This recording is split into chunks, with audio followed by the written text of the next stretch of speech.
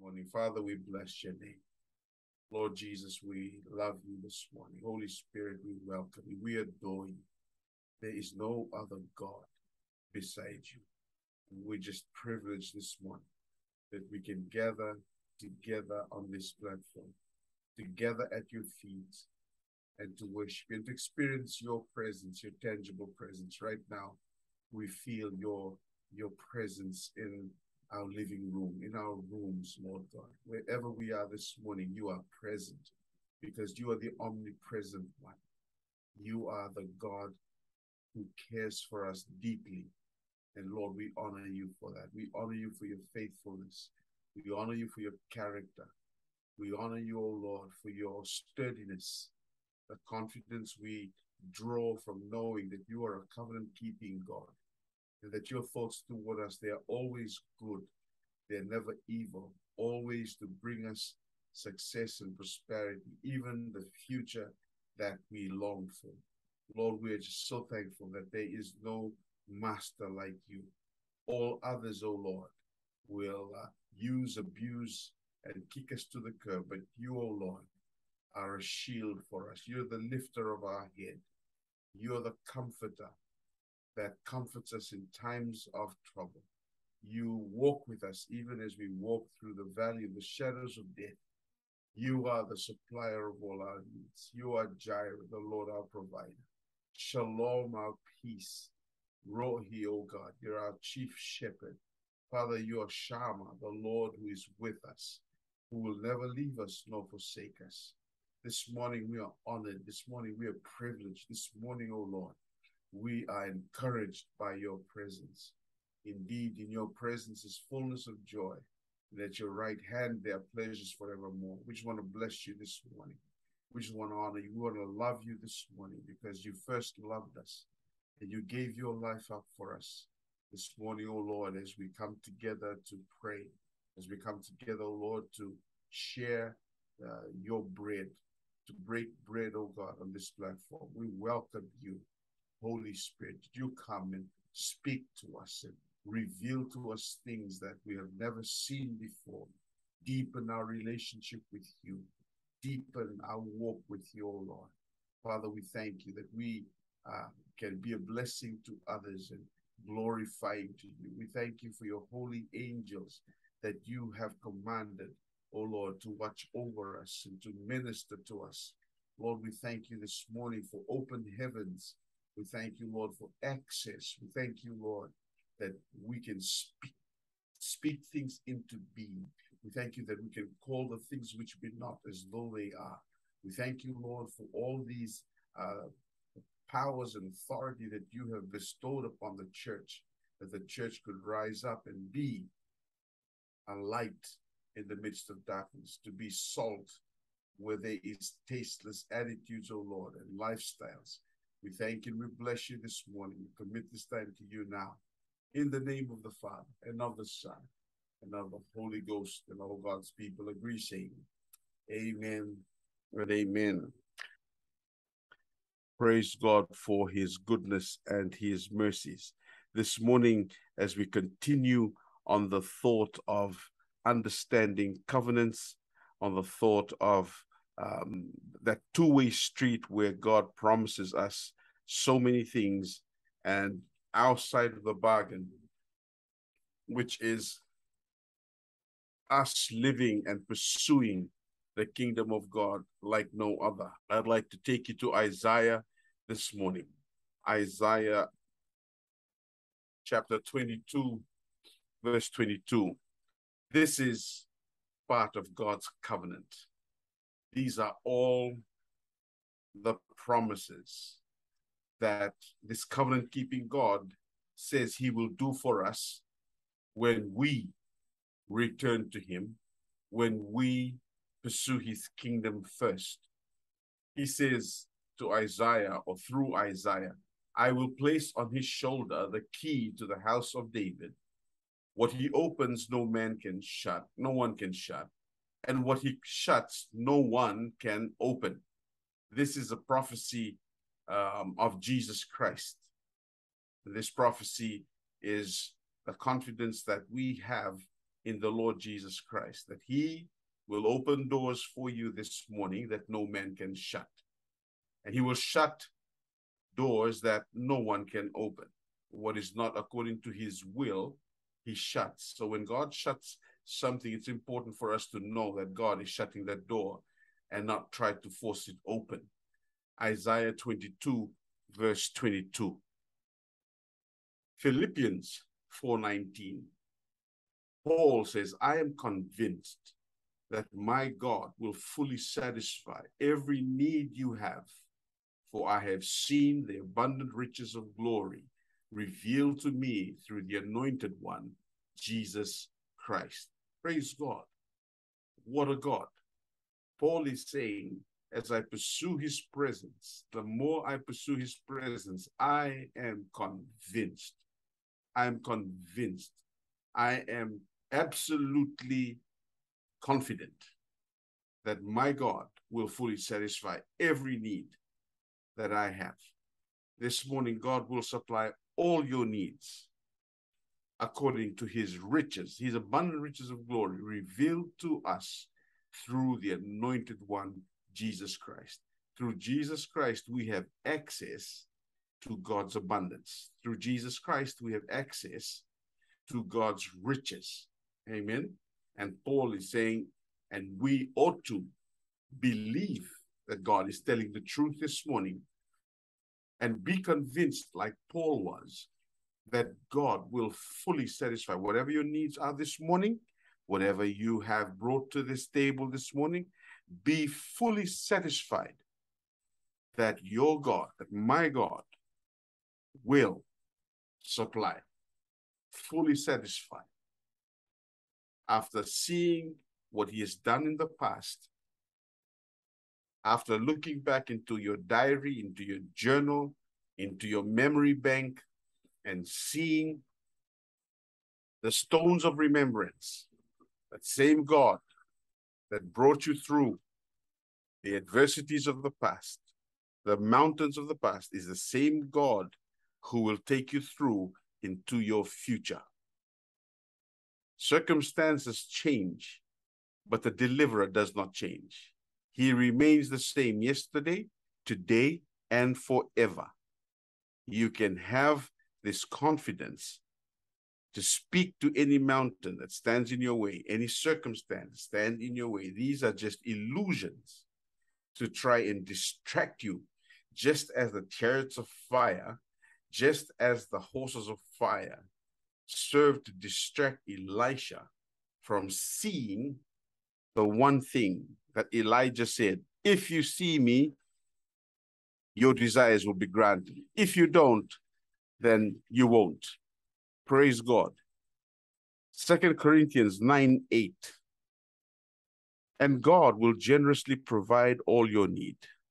Then you will always have everything you need and plenty left over to share with others. When the motives of us being wealthy is godly, God will always supply your need. When the, the motive is that we will be a blessing to others, that we will extend God's kingdom, the Bible says God will generously provide all your need. And it all it takes is just a change of perspective. All it does, all we need to do is change our perspective and say this everything that God blesses me with is for me to bless others and glorify God everything that God has given me my gifts, my talents, my wealth, my money, my possessions they are all given to me for this express purpose, and that is to bless people and glorify God. When that is the motive, watch God come and act on your behalf. Matthew 16, 19 from the Amplified Bible. The word of God says, I will give you the keys. Keys always represent authority and power, the keys of the kingdom of heaven. And whatever you bind, whatever you forbid, whatever you declare to be improper and unlawful on earth will have already been bound in heaven. And whatever you loose, whatever you permit, you declare as lawful on earth, will have already been loosed in heaven. Praise God. This is the authority of the children of the living God. This is your authority. This is my authority. And you know how we we receive authority this morning? We receive levels of authority when we are faithful in the small things. The Bible talks about the minas that were given to servants, and the master went off into a faraway land. When he came back, the ones that multiplied the minas, he gave them cities to watch over, authority. When we're faithful in the small things, the little gifts that God has given us, to wake up and to pray, to deprive ourselves of sleep and to pray.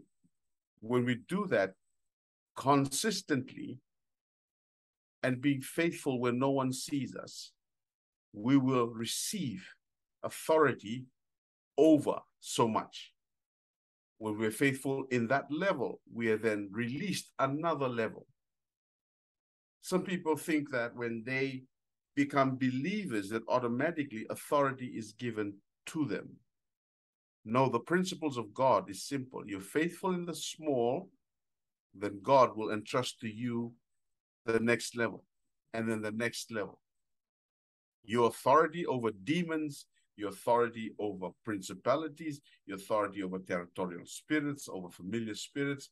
These are levels of authority that we earn when we are faithful in the small things. All the scriptures that I just read to you become yours when you're faithful in the small things. Amen. When we decide to walk with God, it is a decision that we wake up daily and we need to commit to. When you wake up, many times we just go through our day hurriedly. We go through our day just by default. We just get up and we routinely do what we we we always do. Get up, clean up, have breakfast, and out the door to work or do what we we have always done. I'd like to encourage you this morning, ladies and gentlemen. I'd like to encourage you this morning to be very intentional as you wake up. And that's why we have moments of devotion. Our quiet time. Our quiet time is when we sit before the Lord and ask the Lord to speak to us. This morning, the past few mornings, we have established that our God is a faithful God. His side of the bargain never fails, can never fail. You can bet your life on it that he will never fail.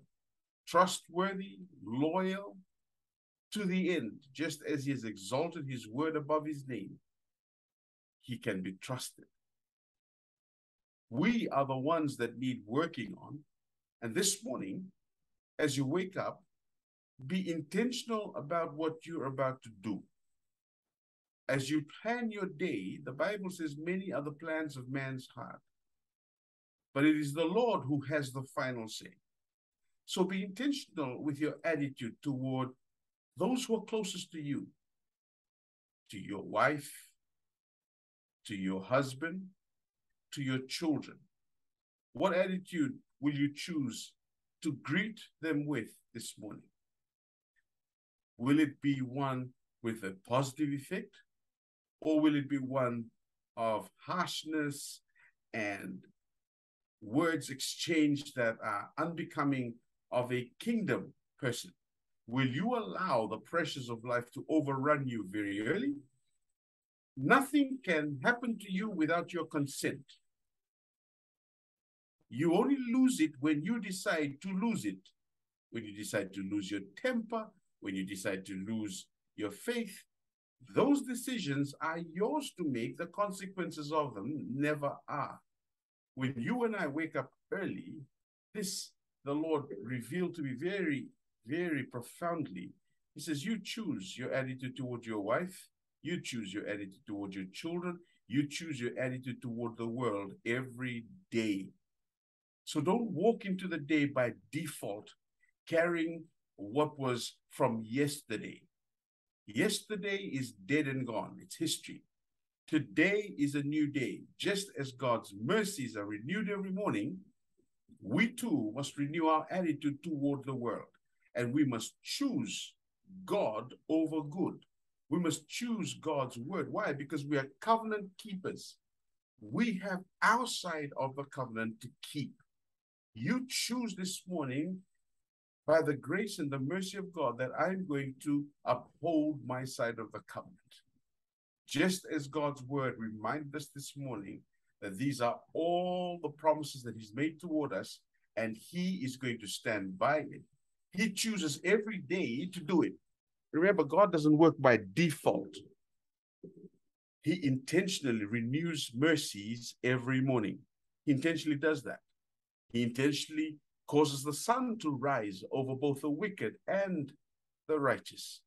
And this morning, we must choose our attitude, choose our attitude right at home. What am I saying? When you're faithful in the small things, God will give you authority over big things. Let's not go and focus on ministering outside of our homes before we minister in the home. You're faithful in Jerusalem. It all starts in Jerusalem. Such basic yet profound truths that we have often overlooked and we've missed the pattern because when the pattern is right, God's glory is attracted to you. And the pattern is simple. When you decide, when I decide to be faithful in what is unseen, what the world does not know. For I for, for, for, for me as a pastor, it's easy for me to stand in the pulpit and look good in front of people. But do people know how I treat my family at home? Do people know how I'm faithful to smile at home? I may be smiling to the rest of the congregation and I'm lovable to the rest of the congregation. But are my children seeing that same love, that same care, that same warmth at home as well? Because when we are one thing at home and another thing in public, that is the term hypocrisy.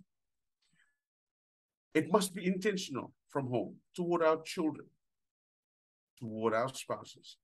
Start at Jerusalem. The pattern is Jerusalem, Judea, Samaria, and then to the uttermost parts of the earth. And you may say, but Pastor, that's uh, spreading the gospel. Of course, that is. When you are faithful to spread the gospel at home by your attitude that you've chosen this morning in response to God's covenant, knowing that that response is a covenant response. When that response reflects Christ, then the two covenant keepers are in agreement. The two covenant keepers are keeping the responsibilities and the conditions to the covenant. When we try to attempt big things so that the world will see us as miracle workers, as holy and righteous people, and at home, we are quite different in our attitude, in our words, in our actions, the enemy is given right of way to come in and apply what is always applied steal, kill, destroy. But we shut the door and we seal it off when we intentionally decide today I, I, I, I'm deciding that I will be loving toward my family. My words will be encouraging. My words will be God glorifying. My thoughts will be renewed mind of Christ. When we intentionally decide every morning, people of God, it will set the tone to your miracles throughout the day, throughout the week, throughout the month. But it starts daily by you and I deciding specifically what we're going to do today. Don't go through your day by default. Don't go through your day prayerlessly. This is the power of coming together to pray and iron sharpening iron because we now realize that I'm going to go through my day intentionally. I intend to read and study God's word. I intend to communicate with God. I'm not going to enter my day without these things being attended to. When we are intentional with our day and we systematically, not religiously, but systematically, wake up every morning and make these decisions, you will find it very practical. And the Bible says this becomes worship unto the Lord. Remember the word worship and the word avad share the same worship and labor share the same root word, which is the Hebrew word avad. Worship and labor. What am I saying? You and I must labor to enter into his rest. Worship is worship when we decide to work at our relationship. Amen. To work at our attitudes. And we work on our attitudes, we work on our relationship when we decide very early, I will be forgiving today. Amen. I will be an overcomer today. I will not allow circumstances to override me. I will ride above the circumstances because my God will supply everything I need so that I will overcome today. It is a decision we intentionally make. Therefore, you see that it is not magic. God works in tandem, in partnership with you, because He's a covenant keeping God. When we do our side of the bargain, He will be faithful, supply all your needs according to His abundant riches in glory by Christ Jesus. So this morning, decide very practically that your words to your spouse will be one of encouragement, one of love. If you're a person who's always harsh, hey, why is this not done? Why is that not done? Early in the morning, you've already empowered the enemy to enter into your home and change the atmosphere. Decide this morning that you will shut the door, shut the gates to the enemy by being an encouragement, a loving person, and they are very practical things. Give your spouse a hug. Amen. Oh, but Pastor, that, that, that's not, uh, who said that that's not godly? That's a very first practical step. Give your children a hug and a word of blessing. Because most of us in the islands, the first thing we do in the morning, wake up, wake up, it's time for school, blah, blah, blah. And everything, the, the, the, the, the attitude is already set wrong. How about go to the side of the bed, pat them on the forehead, and speak a word of blessing over them? You're the head, not the tail. You're always above, never beneath. You will be a godly mm. extender of God's kingdom rather than just trying to rush them through for breakfast, rush them through to get the bus. In the process, you your blood is boiling, your temperature is rising, your sugar levels begin to affect your kidney and your pancreas. These are all detrimental things that we are in control of. So you control the controllables, and God will control his side of the bargain.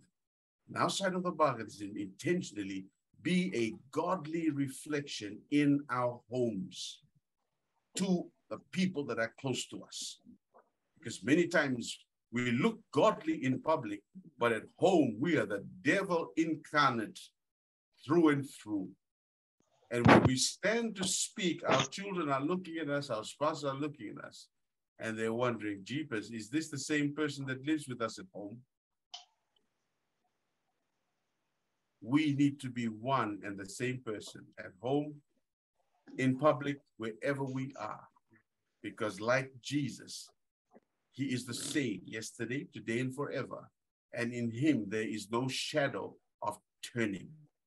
These are very practical aspects where, as we reach for the heavens and the supernatural, as we reach for the spiritual things, never forget to keep your feet grounded right where you are in practical adherence, intentional things to the to the small things at home. When you're faithful in the small things, ladies and gentlemen, God will give you the next level of authority that you and I need. Amen. And we've just read scriptures this morning that promises us so much. And it all begins by us intentionally deciding to pray, deciding to study the word of God, deciding to be a blessing and encouragement right within our homes you might say, but I need to discipline my children. Well, there are ways of disciplining your children. You can sit them down and talk to them like human beings rather than yell at them like a farmer yelling at the cattle or yelling at dogs or yelling at animals. You can change that by being decisive, intentional. Each morning, as you wake up, you decide your day. You decide your day. You decide your attitude toward your day. You'll decide your attitude toward work. Oh, but Pastor, you don't know the challenges I go through at work. They are, well, you can't control the other people's attitude, but you definitely can control your attitude. You definitely can control your responses to circumstances if they are full of hatred and they are full of vindictiveness, you don't respond by being the same people that they are. You respond by being the kingly royal authority that you are in Christ Jesus. Amen. So this morning, as we enter our beautiful day, as we enter this wonderful month of October, you choose you choose what goes in your mouth. You choose what you eat.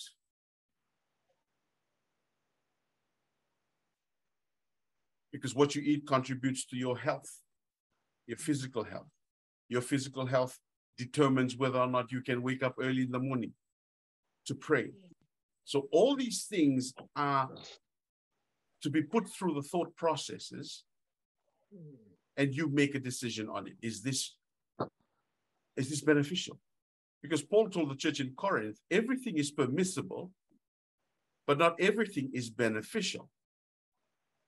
Everything is permissible. You can do what you want to do. If you don't want to pray, that's your choice. If you don't want to eat healthy, that's your choice. It's permissible. But the second part of the equation is the question will it be beneficial to the purpose to which you were assigned to accomplish?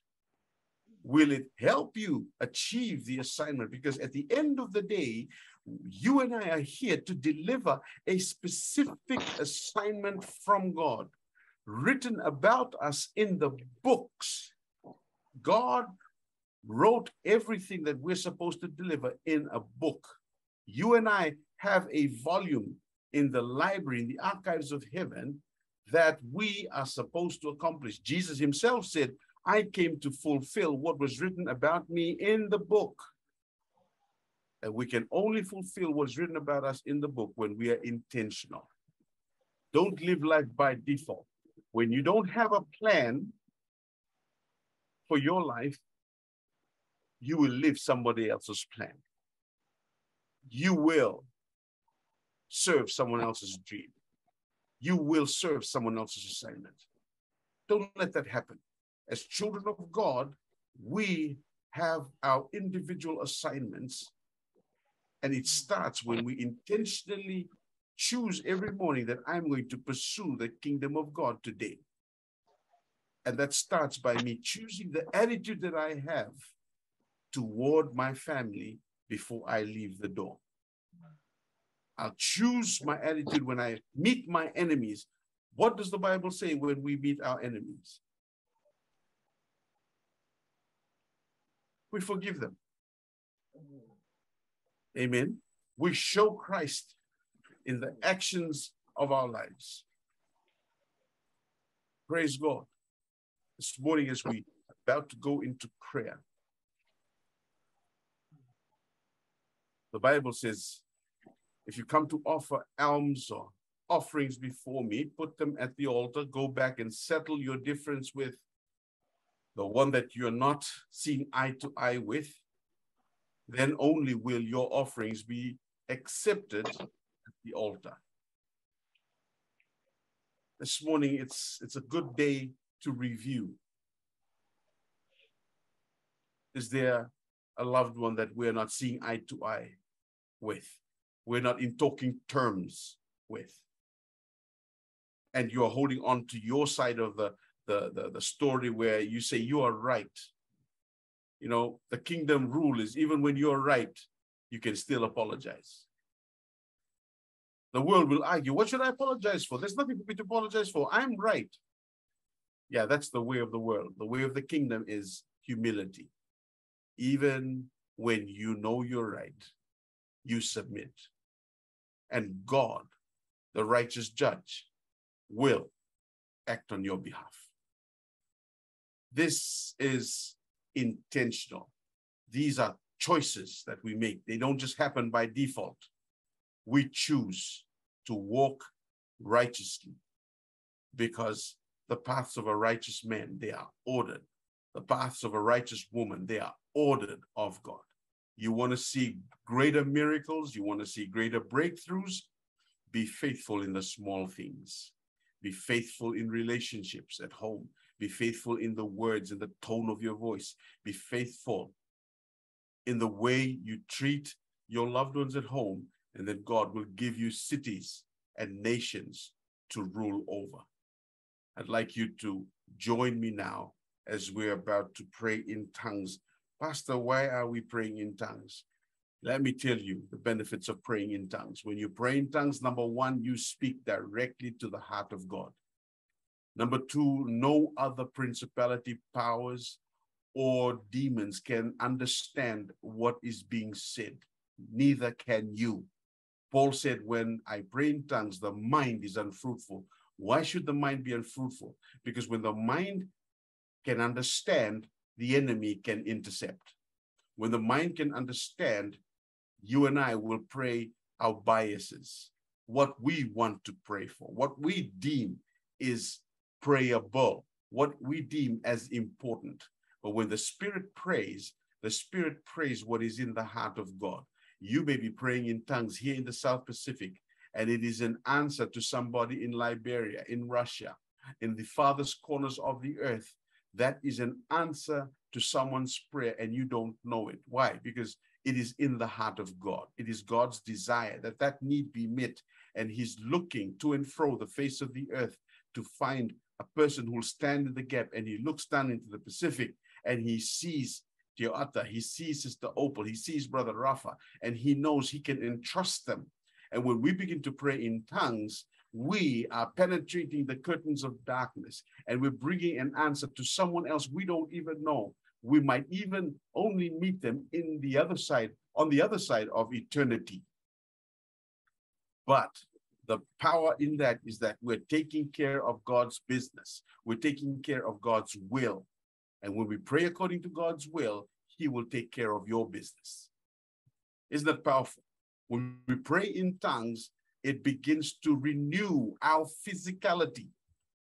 It begins to um, heal us from within. Why? The Bible says that the same spirit that raised Christ from the dead dwells in you. That same spirit will revitalize and rejuvenate your mortal bodies and raise you up just as he raised Christ from the dead. Praise God. When you pray in tongues, there is power because Jude said in Jude verse 20 that you are praying from the peak point of your faith, the strongest point of your faith, you are launching out into prayer. You are launching out into the deep. Amen. When you pray in tongues, don't allow your mind to dictate that you switch to understanding. When you pray in your private closet, you can pray in understanding. But when you pray in, on this platform, I encourage you 20 minutes, let's engage in tongues. And when you pray in tongues, you will find that God will speak very clearly to you because praying in tongues sharpens your sensitivities to the things of the Spirit. It may sound funny because the mind craves order. It may sound chaotic, but what is chaotic and jumbled, only God can unjumble and understand. And that's what matters. Praying in tongues humbles us because we are not in charge. God becomes in charge because the Bible says that he will utter before the throne needs that cannot be articulated in words. It is overwhelming. When you pray in tongues, addictions that nobody knows that you are suffering from begins to break because there is a laundry that's going on when you're praying in tongues. It cleanses you from the deepest depths, weaknesses. I've heard John Bevere speak about it. When he prayed in tongues, he was delivered from pornography. Yes, John Bevere, the author. When he prayed in tongues continuously, addictions begin to break. Are you addicted to something in the dark that nobody knows of, that only you know and you're ashamed of? This morning, that can be broken when you pray consistently and spend quality time in tongues. Well, that leads us to our next question. But, Pastor, I don't know how to speak in tongues. I don't know how to pray in tongues. Don't be misconstrued by the two. There's one called the gift of tongues, and the other is called praying in tongues. This is the born again language the moment you receive Christ as your personal savior. First Corinthians 5:17 says, Behold, all things have become new. You're a new creature. The new creature has a language. The new creature has a culture. This is the new language of the new creature born again in Christ. How do I pray in tongues? Psalm 82 says, Open your mouth and I will fill it. And it begins with one syllable. That syllable comes through your mind from your spirit and you speak it out. When you don't understand it, you're on the right track. When you don't understand it, you're on the right track. It can be just da, da, da, da, da for the first few weeks, and then you add another one, ba, ba, ba, yakaraba. Some people say, but I, but, but, but I, I thought that when you are filled with the Spirit, your mouth will, I'm waiting for my tongue to rattle off on its own. Let me tell you something about the Spirit, the spiritual realm. When you are out of control, you are possessed. When you're not in charge, when you're not in control, something else is in control, and God does not control that way. God always gives you the right to choose. Know how God operates. If you're waiting for your tongue to wag off on its own and you can't control it, then that's inviting a different entity to be in charge. And that's how the enemy comes in and lies to you and takes over. When you pray in tongues, you are still in charge. The Bible says the spirit is subject to the prophet. So I can pray in tongues, and then I switch back to English. Why? Because the prophet is in charge. I hope I'm getting across to you. When you pray in tongues, it is you trusting the Spirit to give you that syllable through your mind and you speak it out. What are you doing? You are operating by faith. Everything that is done in the kingdom is done by faith. Amen. And when you speak out your first syllable, da, da, da, da, but Pastor, how come you are fluent?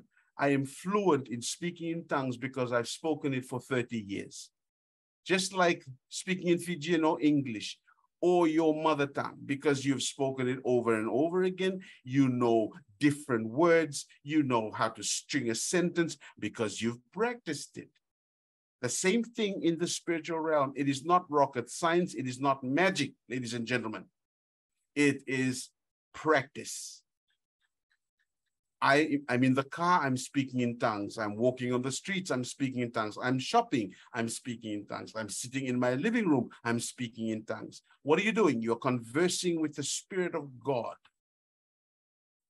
And when you speak in tongues, you draw the presence of God into the atmosphere. And all you got to do is silence your, your, your, your, your brain because your brain will laugh at you. Gosh, you sound awkward gosh, you don't even sound spiritual. That uh, those are the, the distractions that I talked to, about yesterday that needs to be switched off. Because it pleased God that the foolishness of this, the foolishness of the gospel would confound the wise. Things that happen in the kingdom may look foolish, but they're powerful. And so I would encourage you, pray in tongues. That's why we spend 20 minutes whenever we're on this platform. And I encourage you to pray in tongues every day. Spend a few minutes, 10 to 20 minutes in tongues before you switch to praying and understanding. Paul said these words. He said, I pray in, in understanding and I pray in tongues also. The moment he used the, the, the, the, the, the word also, he has given precedence or he has given uh, number one status to praying in tongues over praying in understanding. Why? When you pray in understanding, the enemy uh, understands your language and he can stop your prayers just as he did to Daniel. He can block your prayers because he understands that it's coming from a very biased point. He can block it. But when you pray in tongues, no way. It confuses the enemy, uh, the enemy's camp. It confuses his understanding. It goes directly to the throne, and the password to unravel that package is only held by God. And he unravels it and he answers directly to your situation. So, right now, this is a good place to practice praying in tongues. Just open your mouth and allow the Spirit to induce to you the syllables that only He can decipher on his side of the bargain. Let's begin to pray. You can switch on your.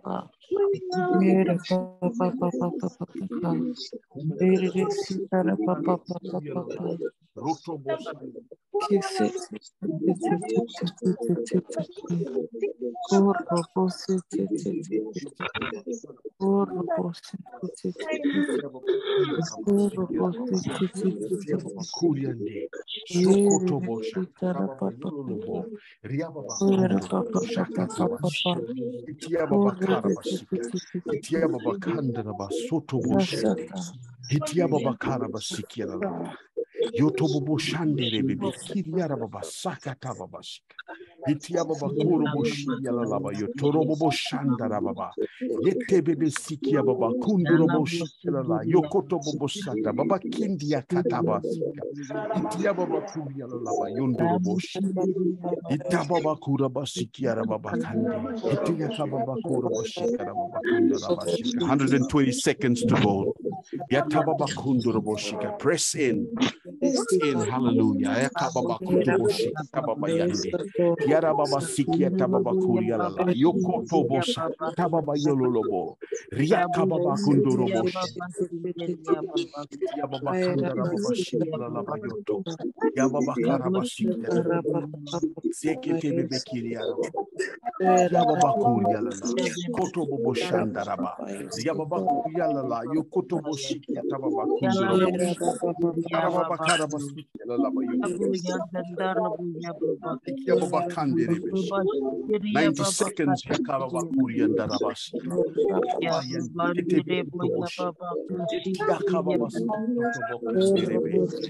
yakaba kurian darabas yababa kundurbo shikela laba yokoto bosanda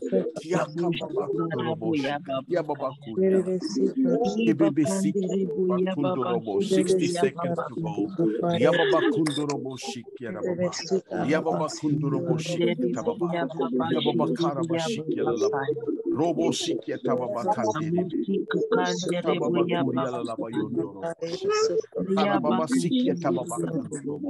Bebe, bebe, bebe, yara baba. Tutia baba kundorobo shikia. Itia baba kandaraba shikia tababa kuriala laba. 30 seconds to go.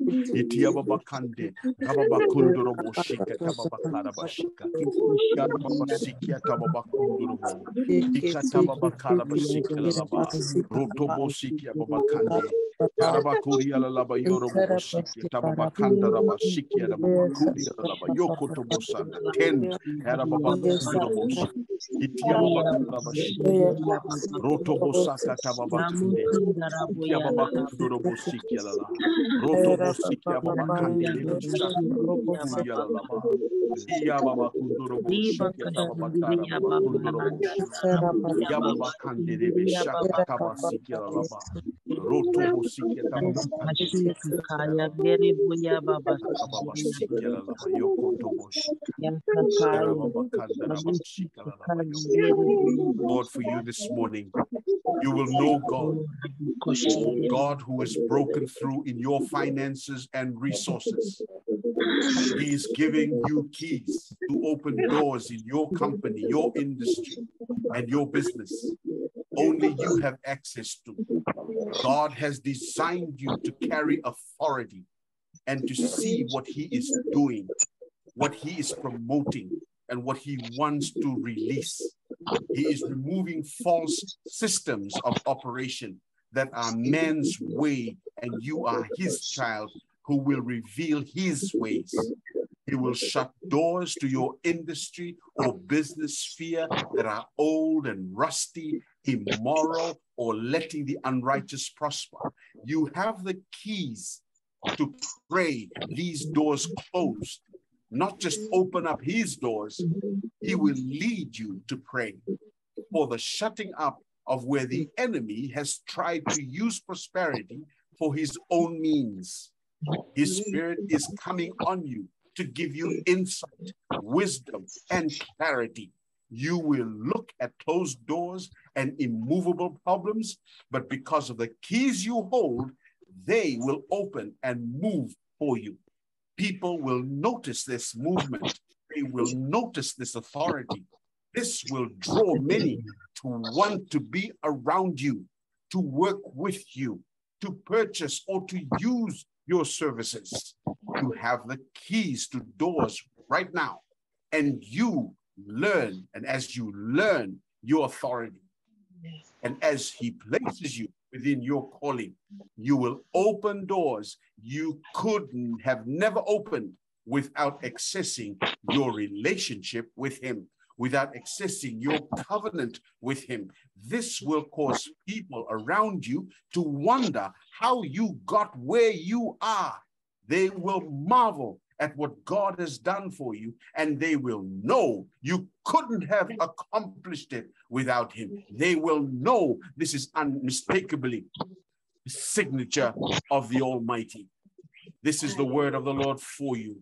Receive it in Jesus' name. Praise God. Praise God.